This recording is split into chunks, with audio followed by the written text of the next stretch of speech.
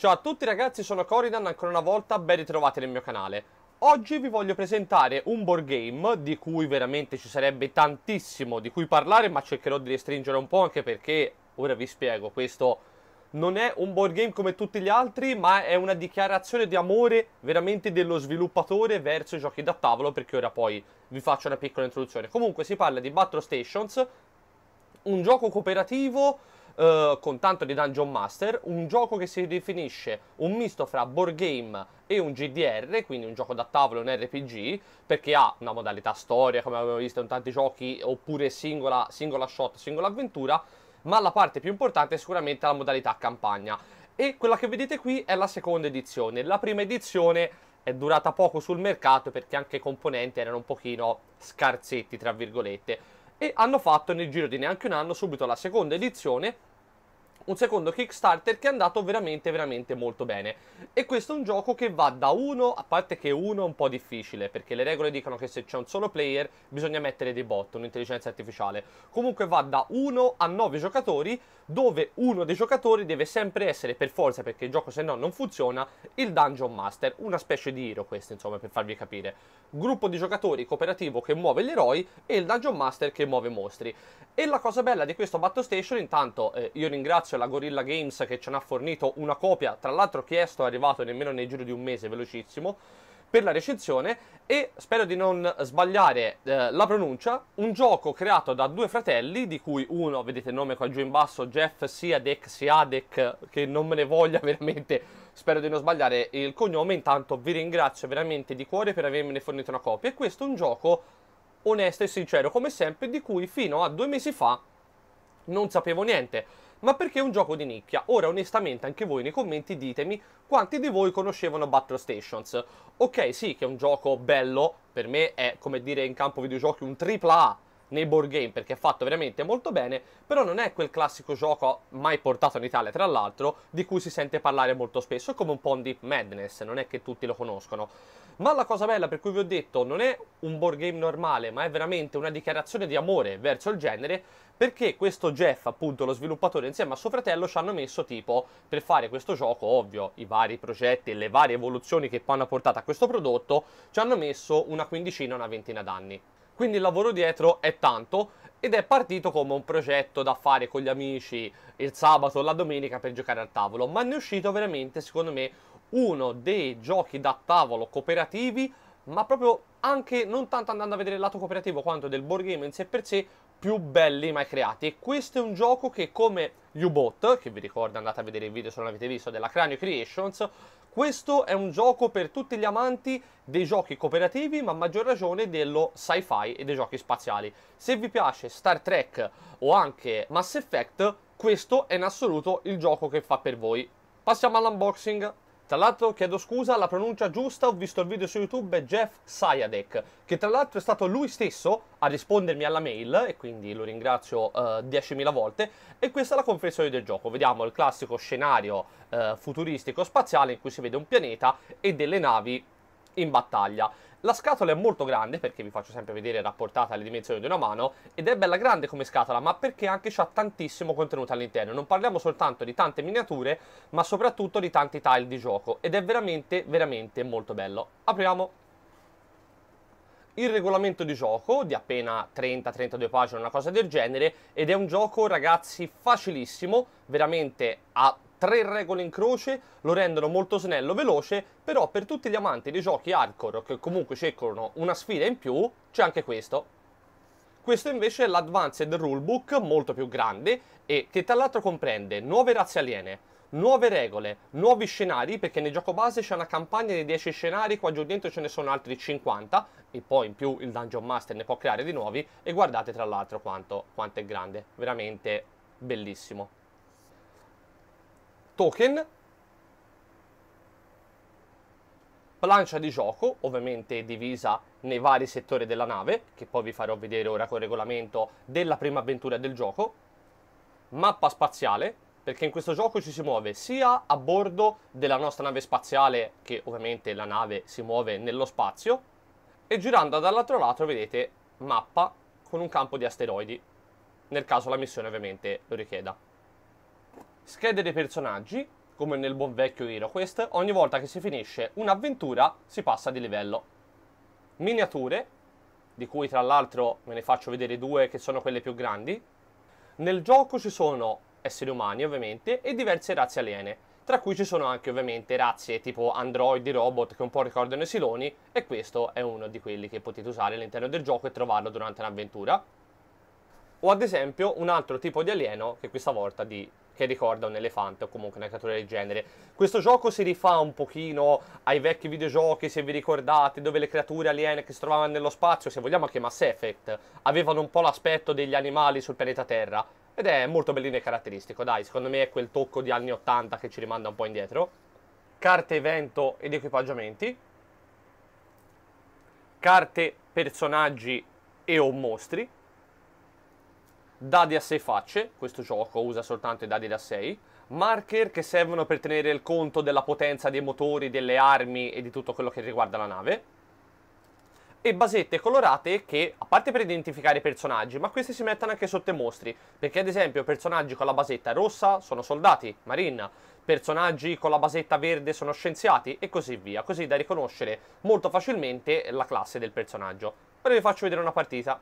Allora ragazzi, in questa prima eh, avventura del gioco, in questa prima partita, missione, vi consiglio intanto di fare quella che vi chiede il gioco perché è bellino, in queste 10 missioni vi insegnano mano a mano tutte quante le regolette e già vedete che ad esempio nella seconda missione vi farà utilizzare eh, delle abilità o delle cose in più, delle varianti appunto un pochino più hardcore fino ad arrivare alla decima missione dove saprete padroneggiare il gioco al 100%. La mappa di, di, di, Battle Stations è veramente bella e soprattutto questa prima di partenza che dà secondo me un aspetto open world e sandbox unico che non avevo mai visto in un gioco del genere perché partiamo nella prima missione dove siamo attraccati con la nostra nave, cioè mia moglie poi sta facendo le riprese, questa qui è la nostra nave, vedete no? La forma, che questo qui è l'Elm, il ponte di comando, la sala dei missili, i cannoni, la zona del teleport, i motori iperluce, hyperdrive e poi in fondo i due motori, gli engine della nave e vedete che la nostra nave è attraccata tramite l'Elm alla stazione orbitale che è qui accanto. Quindi vedete diventa una mappa unica. Questi sono i nostri personaggi, il nostro gruppo di eroi che il gioco ci dà all'inizio standard, però ragazzi in tutte le avventure successive tranquilli ve li potete anche creare da zero, comunque questi sono i nostri eroi e praticamente questa missione principale dice che l'ambientazione del gioco di Battle Stations vede il solito, insomma, universo in guerra. E siccome sta per scoppiare una guerra e servono tutte le navi possibili alle, all'Alleanza Galattica, noi siamo attraccati per fare il classico rifornimento, un po' rifornire motori e tutto quanto, e anche, ovviamente, libagioni e tutto quanto per l'equipaggio, ci siamo fermati in questa stazione orbitale e mentre ci siamo fermati, un equipaggio della stazione orbitale è montato a bordo della nostra nave per i consueti controlli. Infatti vedete questi qui sono, tra molte virgolette, nemici sono montati sulla nostra nave per dei controlli. A un certo punto un ufficiale scende dalla nave e ci viene a dire che la nostra nave è appena stata requisita per usarla nella flotta stellare, nell'esercito e per portarla in guerra. Ovviamente noi, equipaggio della nostra navetta, ci opporremo per riprendercela, quindi la missione sarà entrare a bordo della nave, andare al ponte di comando, l'Elm, staccare la navetta dal collegamento al ponte, che sarebbe questo qui, con la stazione orbitale, e andarcene. Questa qui è la prima missione, e ora, bene o male, vi faccio vedere come funziona. Questa è una scheda riassuntiva di tutte le azioni, ovviamente ce ne sono molte di più eh, nel regolamento avanzato, ma voi fregatevene, per ora vi servono soltanto queste, per le quattro classi di personaggi presenti nel gioco, ovvero in rosso, con la basetta rossa, quindi che avete visto prima il nostro leone ad esempio, quell'alieno di razza che sembra un leone, di colore rosso sono sempre marine o soldati, di colore blu sono sempre ingegneri, di colore giallo sono le azioni, ad esempio, per i piloti, e di colore verde invece sono sempre le azioni per l'ufficiale scientifico, quindi lo scienziato a bordo della nave. Più la parte eh, qua giù ci indica i danni che subiremo alla nave durante i combattimenti, ve lo faccio vedere in una parte più avanzata del video, e il valore dell'UL della nostra nave, che è qua giù, l'UL check. Ad esempio vi ho fatto vedere, questo è il soldato del nostro equipaggio, questo invece col colore verde è uno scienziato dei nemici che avete visto sono a bordo della nave per fare i controlli. E queste sono le schede. Questo gioco è bello ragazzi perché non è che siamo umani contro gli alieni o comunque razze aliene. Qui qualsiasi, cioè potremmo fare alla rovescia. Invece della missione potrebbe diventare lui il cattivo e lui il buono a bordo dell'equipaggio. Quando voi vi scegliete una classe e una carta, prendete la carta, il, la razza e ovviamente il colore a seconda del ruolo che volete dargli. Quindi lui ad esempio l'avete voluto fare soldato, prenderete la carta rossa. Se lo voleste fare scienziato, prendereste la carta verde e cambiereste la basetta sotto. Comunque, sulla scheda cosa ci dice? Qui con questo valore qui il valore di eh, forza del personaggio, ma che non è tanto un attributo di combattimento quanto eh, gli oggetti che può portare questo personaggio. Aggiungete sempre 1 al valore che è qui, quindi lui che ha un valore di 1 più 1, 2 potrà portare due oggetti. Sotto il valore di combattimento, in rosso, che ha 4, quindi sia in corpo a corpo che a distanza, ogni volta che fa un combattimento, il numero di dadi che tira, il valore, scusate, che deve aggiungere al tiro di dado, è sempre questo qui, 4. Come ingegnere a 1, lui ovviamente essendo un soldato non ha tante conoscenze eh, di ingegnere, di ingegneria, nemmeno di pilotare navette, e addirittura un valore di 0 per abilità scientifiche. Da quest'altra parte invece vediamo il movimento, quindi lui si muove di 6, la vita, quindi ha 8 punti ferita, il terzo valore è eh, il valore che va raggiunto, eguagliato o superato per colpirlo, quindi per colpire lui sia in corpo a corpo che a distanza bisogna sempre fare un 8 più con i dadi, il valore di fortuna, che il valore di fortuna serve per ritirare un dado, quindi si può usare un solo valore di fortuna, un solo punto di fortuna ogni turno, per ritirare non tutti i dadi ma uno soltanto, a scelta ovviamente quello più basso, e l'ultimo quante mani ha questa razza aliena, perché lui ne ha due, ma ci sono razze aliene che ne hanno tre, tipo ne so, l'elefante può usare anche la proboscide per attaccare. E questo è il numero di oggetti che lui potrà portare, di armi, quindi un personaggio con due mani potrebbe usare, che ne so, due eh, oggetti a una mano, però con tre potrebbe invece usare tre armi per sparare o cose del genere. Completano la scheda le abilità aliene, quindi l'abilità di questa razza aliena, che è scritta qua su in cima, l'equipaggiamento di partenza che ha, che è segnato sulla scheda, in più l'abilità speciale della classe, in questo caso il soldato, che tranquillamente e comodamente, senza ammattire a girare per nessun manuale, è scritta dietro. Come vedete sulla scheda del nemico eh, i valori sono uguali, quindi useremo quelli che sono scritti qua. Come vi ho detto all'inizio, questa missione ci vede scappare dalla stazione orbitale per tornare a bordo della nostra nave. Stazione e ovviamente i nemici faranno di tutto per fermarci. La stazione orbitale stessa, una volta che ci saremo staccati per andare via, ci sparerà contro, però anche lì è una parte che vi dico successivamente. Le azioni che si possono fare, eh, che i personaggi possono fare, ah, prima di tutto muovono sempre gli eroi, eh, perché praticamente le fasi di gioco sono movimento della nave, che ve lo faccio vedere dopo, ma tanto ora siamo fermi, movimento dei missili, che anche quello ve lo faccio vedere dopo, movimento dei personaggi e infine movimento dei mostri.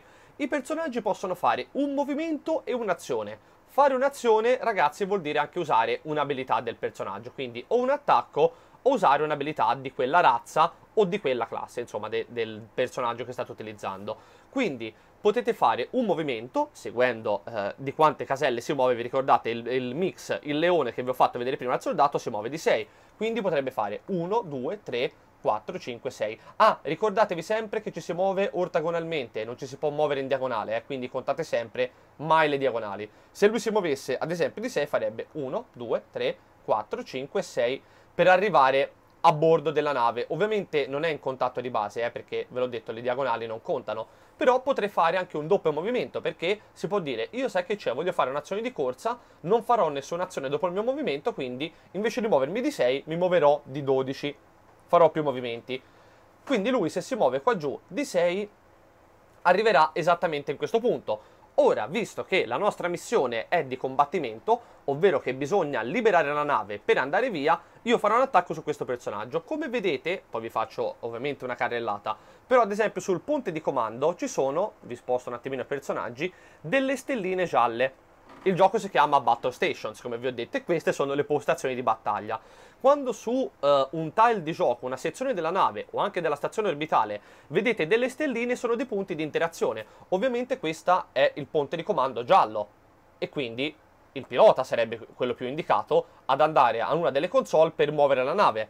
Se fosse stata, che ne so, una zona rossa di attacco come il, il lanciamissili o i cannoni, sarebbe stato più indicato invece il personaggio rosso. Quindi il colore del tile è anche sempre il colore del personaggio, però ve ne dico un'altra.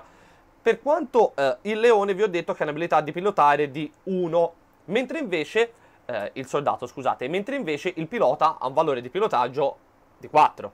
È, è l'esatto opposto. Però chiunque può fare qualsiasi azione in questo gioco. Cioè, se io arrivo qui per primo con lui, col soldato, e dico, eh, ho sbagliato a fare l'azione, vabbè, provo comunque a far muovere la nave, lo posso fare comunque, con la differenza che tirerò due dadi, perché le azioni sono sempre tirare due dadi da 6 e eguagliare o superare una difficoltà che ci dà il gioco, più ovviamente il valore che io ho in quell'abilità. Quindi con lui aggiungerei soltanto un più 1 al mio valore perché ho 1 a pilotare, con quest'altro invece aggiungerei un valore di 4 al tiro dei dadi. Ad esempio, se io arrivassi qui e volessi pilotare la nave con lui per provare a fare un'azione per staccare la nave, c'è anche un'altra cosa da dirvi precedentemente, ma tanto che siamo qui ormai ve la spiego.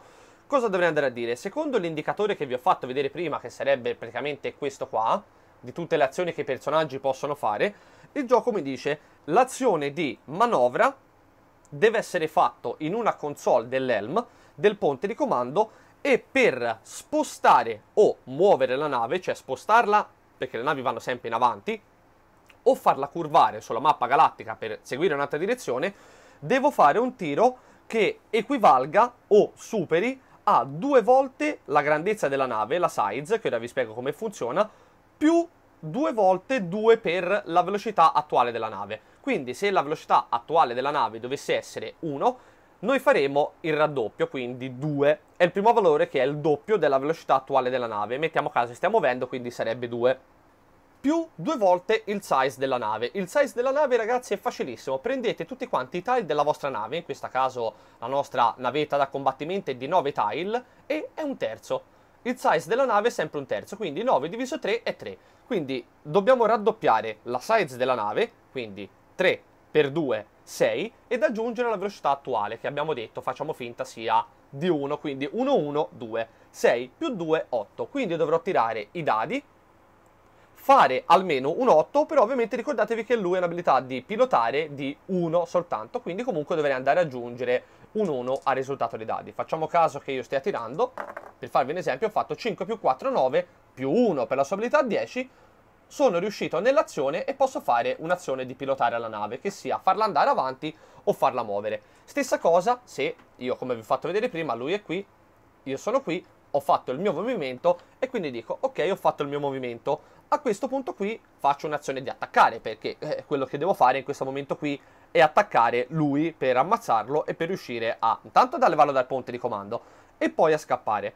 L'azione di attaccare, come vi ho detto all'inizio, il personal attack è sempre tirare due dadi, perché si tirano sempre due dadi per l'abilità, più eh, l'abilità del personaggio, che nel suo caso è 4, e bisogna levare come risultato, cioè eguagliare o superare come risultato la difficoltà che è segnata sulla carta col mirino del nemico quindi un valore di 8.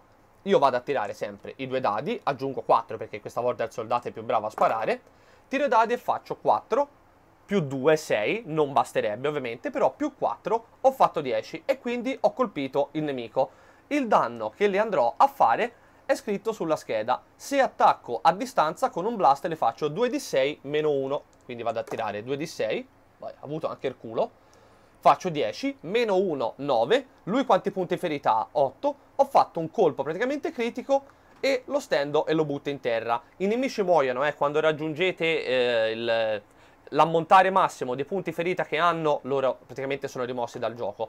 Quando un eroe arriva a 0 punti ferita, non è morto ma finisce incapacitato. Gli eroi muoiono soltanto quando scendano di altri 6 danni sotto lo 0. Quindi quando il vostro eh, personaggio dovesse arrivare a meno 6, perché potrebbe continuare a ricevere ferite anche nel corso dell'avventura, perché i nemici che vi ricordo non sono mossi dall'intelligenza artificiale, ma sono mossi dal Dungeon Master, potrebbero dire, sai chi c'è? Io inferisco su lui per terra perché può inferire anche su quello in terra, se lui dovesse arrivare a meno 6 morirebbe. Non vi preoccupate se vi muore un personaggio durante un'avventura perché nell'avventura dopo ce lo riavete come clone. Ovviamente non passa di livello, non fa punti esperienza, però lo riporterete a bordo della nave eh, e non sarà morto deceduto. Quindi questo è il combattimento.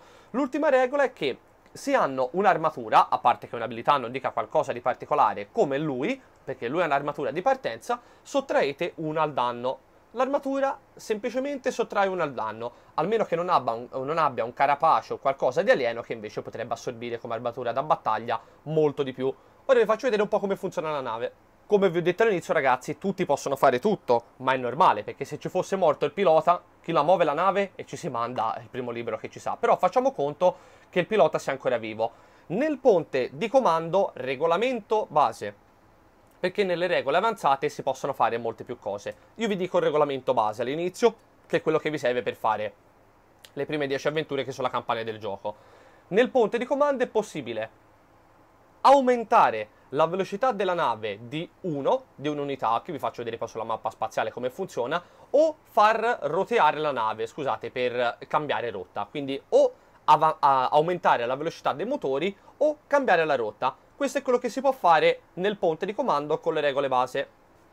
Nella zona dello scienziato, andando nella battle station, qui si possono fare le più grandi azioni del gioco.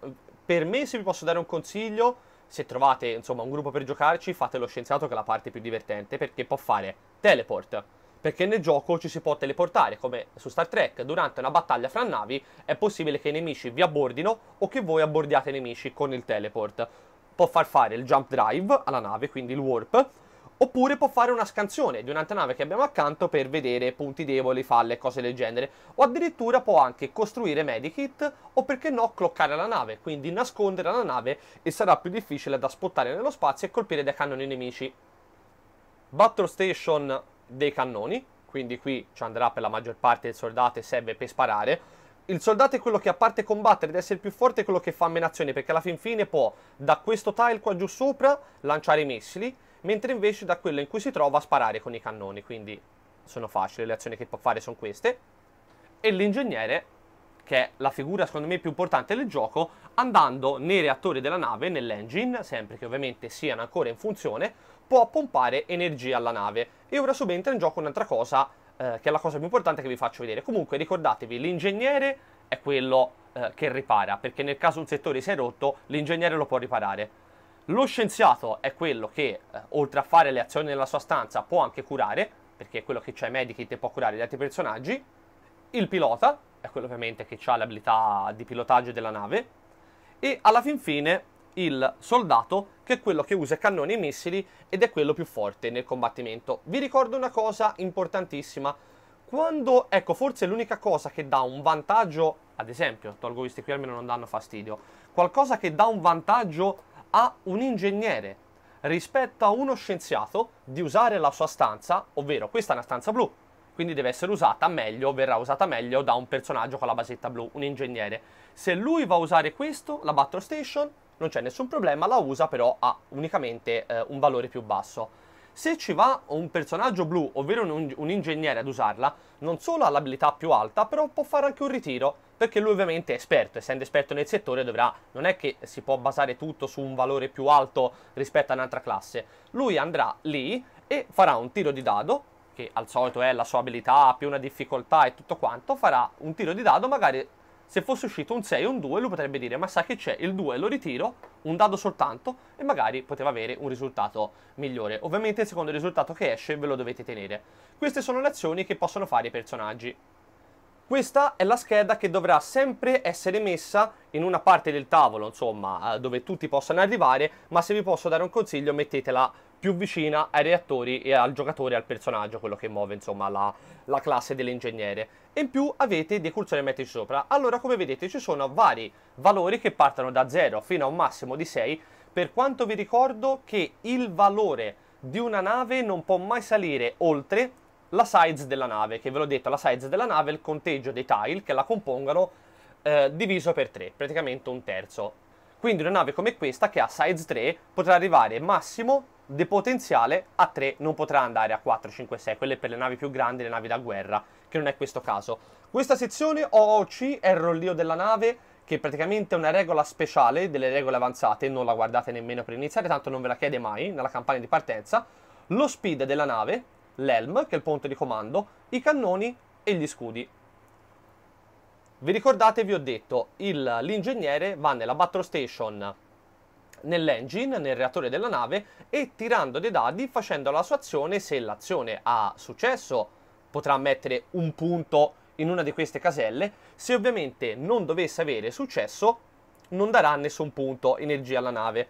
Vedete che anche i cursori che ora ci metto sopra sono colorati, tipo questo per lo shield è verde, quello per il gun è rosso, quello per l'erm è giallo e poi per ultimo, non meno importante, lo speed della nave. Questo è dare e, e l'energia che si può dare alla nave è questa casella. Questa casella di qua non la guardate perché serve praticamente, si può attivare unicamente dal ponte di comando, mentre invece questa qui si può attivare direttamente eh, dal reattore. Quindi il personaggio cosa succede? La nave inizialmente parte con energia 0. Quando i reattori saranno accesi, almeno uno dei due in funzione non rotto, e quindi il valore di movimento della nave sarà almeno uno, la nave ogni turno genererà energia e quindi tutti quanti questi tre saliranno a 1, ma resteranno fermi a 1, non è che nel turno successivo salgano a 2 o a 3, no. Il massimo di potenziale di base, di, di scintilla di base che può dare il reattore alla nave è un valore di 1 ciascuna. Mettiamo caso che eh, l'ingegnere abbia fatto un tiro nella battle station del, del core della nave, del reattore, e dirà va bene, ora ho guadagnato un punto perché sono riuscito nel tiro abilità, questo punto, visto che dobbiamo attaccare una nave, lo metto ai cannoni e quindi lo porto a 2. Oppure potrebbe semplicemente dire, ma sai che c'è? A me mi serve fare un'azione nell'elm perché mi serve cambiare velocità e ruotare la nave, cambiare rotta. Quindi lo potrebbe mettere al ponte di comando. Oppure se ci stanno sparando contro, lo potrebbe mettere agli scudi. Ogni qualvolta che un personaggio usa un'azione in una di queste tre Battle Station, ovvero facciamo caso che tutti i valori siano a 1. Il pilota nella plancia di comando aumenta la velocità, quindi leva 1 di potere, perché ogni volta che si usa eh, un ponte di comando, scusate, una battle station della nave, si riduce sempre di 1 il cursore. Sparo con i cannoni, riduco di 1 l'energia. Subisco un colpo, mi servono gli scudi, abbasso di 1 gli scudi. Ricordatevi che quando inizierà il turno successivo, automaticamente se un reattore dei due, è in due o più, magari anche tre, è in funzione, risaliranno tutti a uno ma non oltre. Quindi, a meno che non abbiate un ingegnere sempre uno o più personaggi nel reattore, questi arriveranno a un massimo di uno e non saliranno mai. Rimarranno lì. La velocità invece è dal ponte di comando. Nel ponte di comando il pilota fa un tiro di dado. Voglio continuare ad andare a velocità 1, però voglio cambiare rotta spreca un punto di Elma. Oppure, perché no, in questa azione no, 1 di velocità non ci basta per scappare, ci serve aumentare la velocità, alza la velocità a 2, che non scenderà più, questa rimane fino a che non viene abbassata, e porto questo cursore, eh, il, il cursore qui a 0, perché ovviamente ho usato l'energia dell'Elma. Se invece volessi dire la velocità fosse a 3, è possibile spendere soltanto un'azione e mandarla direttamente a 0 per fermare la nave. Stessa cosa se si farà un'azione d'attacco, io dovrò utilizzare un punto del, dei guns, delle armi che ci sono a bordo, e più punti ho, più dadi tiro. Quindi se ho due punti e vado a fare un attacco, quella volta lì a quel turno tirerò, ad esempio, due dadi. Se avessi potere 3, ne tirerei 3, 4 e così via, quindi il colpo sarebbe più potente. Sparo un colpo, ovviamente sempre levo 1 di energia. Quindi nel turno successivo iniziano a scalare i dadi. Subisco una ferita, oltre a fare il tiro per vedere se eh, riesco a ridurre il danno, levo anche un punto shield. E questo è praticamente come funziona la gestione delle risorse a bordo della nave. La parte, perché uno potrebbe dire, ma bel gioco sì, però è il solito gioco cooperativo. La parte più figa, ragazzi, che questo me l'ha fatto chiedere subito appena l'ho visto, in contemporanea noi ci si muove anche nello spazio, perché quello che succede a bordo della nave, muovere i personaggi, andare nei vari settori, attivare l'energia e tutto quanto, c'è anche una controparte nello spazio, perché la nostra nave si muove. Come vi ho detto, se all'inizio del turno c'è sempre il movimento della nave, movimento dei missili, movimento dei personaggi e movimento dei mostri. Quindi la prima azione da fare, nel caso noi siamo qui, ah, anche qui non ci si può muovere in diagonale, eh, ricordatevelo. Non ci si può assolutamente muovere la nave che deve andare avanti e tutt'al più cambiare rotta. E cambiare rotta a questo punto ovviamente si può muovere di una casella accanto. Però se la nave punta in avanti non si può spostare così accanto, fare uno slide, avete capito? O muoversi all'indietro. La nave ovviamente deve, va sempre avanti e bisogna fare un'azione per cambiare ruotarla e cambiare la direzione. Comunque, se la nostra nave sta andando a velocità 1, all'inizio del turno, prima di tutto, prima della fase dei giocatori, si muove in avanti di 1 di una casella nella mappa spaziale. Facciamo conto che quest'altro cursore che ho messo sia una nave nemica che a sua volta va a velocità 1 e si stanno per attaccare. Se io volessi sparare con cannoni, ancora una volta il soldato deve essere a bordo nella stanza dei cannoni, fare un check su difficoltà, Se riesce a superare il check, quindi per vedere se spara con l'arma, che il check è dato il valore del check è dato dalla distanza, ovviamente senza contare eh, la casella della vostra nave, quindi contando la distanza è 1, 2, 3, 4. Per colpire questa nave la difficoltà è 4 più il doppio della, nave, più il doppio della velocità a cui sta andando la nave nemica. Sta andando a 1, quindi 2. 1, 2, 3, 4 più 2, 6. Al solito il pilota dovrà tirare i suoi dadi, con tutti e due dadi fare almeno un 6, e in più dovrà aggiungerci la sua abilità scusate, il soldato dovrà aggiungerci la sua abilità per sparare con i cannoni per vedere se la prova è superata. Vi ricordo come detto prima che più è alto il potenziale dei cannoni perché se voi avete uno di potere nel cannone andrete a fare un tiro di dado con i due dadi classici, però potreste aggiungere più dadi nel caso abbiate più cannoni, perché quando si va a fare uno sparo del genere si va a fare eh, un'aggiunta di dadi che nel caso ci siano 3 punti energia dati ai cannoni, i dadi che andremo a tirare non saranno 2 ma saranno 3. A quel punto la nave nemica bisogna vedere quanto ha il valore di scudi, perché se ha 0 tutti i danni che sono qui passano ed entrano. Se invece dovesse avere almeno un valore 1 di scudi, il gioco dice che facciamo conto che questa nave ha 2 di potenziale, quindi tira due dadi, e quest'altra nave invece ha eh, un valore di scudi di 1. Si tirano tutti i dadi insieme, quindi i due di attacco della nave più uno scudo del nemico. Si prende un altro dado, e si vanno a tirare. Quindi magari tiro i due dadi della nave che fanno 5 più 1, 6 e poi tiro il dado, questo qui, per lo scudo della nave. Quindi un terzo dado. Semplicemente lo potrei tirare come quest'altri che ha avuto un 5. Ok? Quindi il gioco cosa ci dice? Quant'è il valore di scudi di quella nave nemica? E il valore di scudi è 1, quindi io devo levare i risultati più alti, quindi avendo, avendo, un valore di scudo di 1 devo levare il primo risultato più alto che è uscito, quindi un 5. Però mi è andata male, perché nel check del tiro del dado e della nave lo scudo non ha funzionato perché ha fatto un valore alto. E quindi anche togliendo il 5 rimane il 5 che gli ho dato io col mio tiro e praticamente il danno non è ridotto, però se fosse uscito un 1 gli avrei, avrei tolto il 5 e gli avrei lasciato un 2 di danno e questo è il valore degli scudi. Ovviamente nave di qua che subisce danni deve, questo deve abbassare un livello di energia dai cannoni, questo deve abbassare un livello di energia dagli scudi. E quindi vari ingegneri a bordo delle navi dovranno riandare nel generatore della nave e eh, praticamente alzare un'altra volta facendo ritiri tutto quanto e rialzare il potenziale. Perché se no la prossima volta che la nave attaccherà magari avrà potenziale 1 tirerà un dado soltanto. E magari quest'altra avrà un valore di scudo di 1 e come vedete il potenziale si abbassa per tutti e due avete visto che questa qui era la nave rappresentata. Come si fa per sapere dove ha colpito quando sparate sia con i cannoni che con i missili, come si fa a sapere dove avete colpito la nave nemica o dove la nave nemica ha colpito voi? Ovviamente si dà conto che i cannoni sono sempre indirizzati sul fronte della nave, quindi a meno che l'avventura non vi dica qualcosa di particolare, difficilmente ci saranno cannoni che sparano lateralmente. Comunque, se sparate una nave, li sparerete sempre nella direzione dove sparano i cannoni, quindi se siete faccia a faccia, non li potete sparare al sedere o al fianco, li sparerete in faccia. Facciamo caso che un colpo raggiunga la nostra nave il gioco dice che la regola dovete prendere sempre il punto centrale dove arriva il colpo è sempre il numero 7, che ora vi dico come funziona. Dal 7 in giù, quindi da, scusate, se il 7 è centrale, dal 6 in giù sono tutti i colpi che si spostano a babordo della nave, quindi da questa parte, a sinistra. Invece dall'8 in su sono tutti i colpi che si spostano a tribordo, quindi sul lato destro della nave.